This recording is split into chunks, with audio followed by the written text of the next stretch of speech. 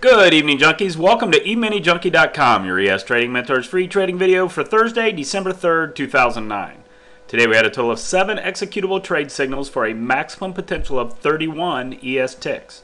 This video is for educational purposes only is intended to highlight our high probability trade setups and give you a feel for the quantity of trades taken each trading day using this approach.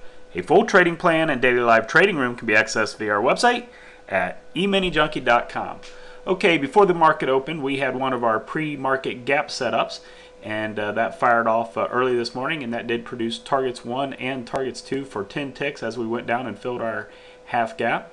Came over, opened up this morning right at 11.10.50, made a quick push down towards the uh, pivot, uh, reaffirmed our new half gap, filled that as well, and immediately started climbing higher. Once we crossed above our moving average on the the, the move was so fast we did not get an opportunity to get into uh, our our trade signal until all the way uh, right before the uh, 10 o'clock reversal time. We actually did get a signal to get long.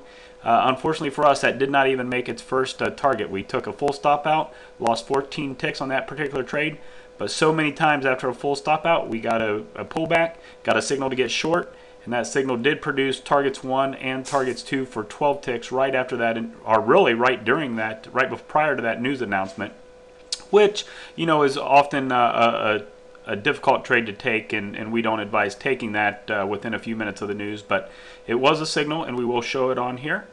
And uh, the market went down towards the previous day's 4 p.m. close, eventually made its way through that, down to the Globex low for the day, Got a quick bounce off that Globex low, not enough to give us a signal, but it did give us a, a, a move that reset our, our, our cycle, and we actually did have a quick uh, signal to the downside, and that did produce targets 1 and targets 2 as we moved in to form uh, kind of a little double bottom there, if you will.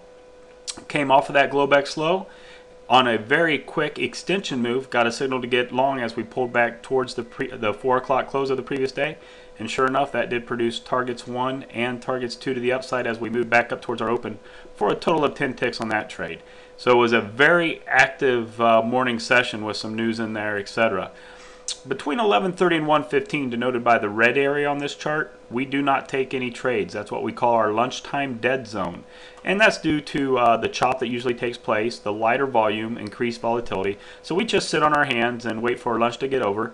And after lunch, about 1:15, we start looking for signals again, and and we did get a signal coming out of lunch. Um, moved up towards our opening price. We got a pullback. We got an opportunity to get long. Got our first contract off. Did not get the follow through we were looking for. Ended up getting a stop out uh, for a two tick loss on that particular trade. But uh, coming after that stop out, we pushed back down to that 4 p.m. close again. The, the close and that uh, pivot were just acting as magnets today.